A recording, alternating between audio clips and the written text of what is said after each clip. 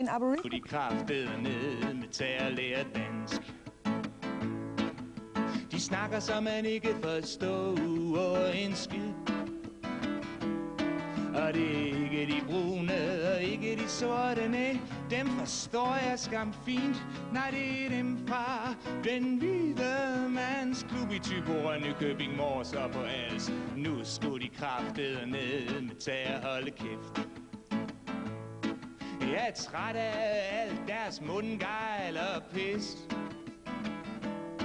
Og det er ikke de brune og ikke de sorte Nej, de holder faktisk en lav profil. Nej, det er dem fra den hvide mands klub. Jeg tror, de ved alt Nu skulle de kraftede ned Tage og tage hjem.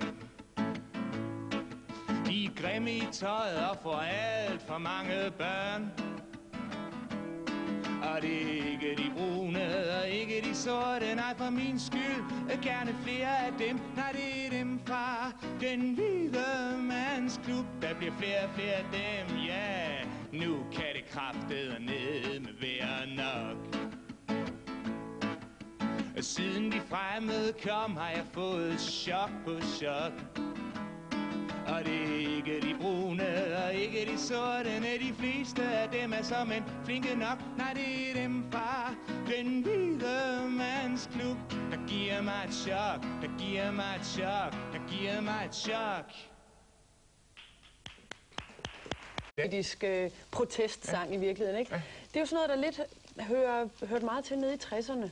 Er det, når du nu stiller dig op og gør det, er det så fordi, du er håbløst umoderne, eller fordi det er sådan noget, vi trænger til?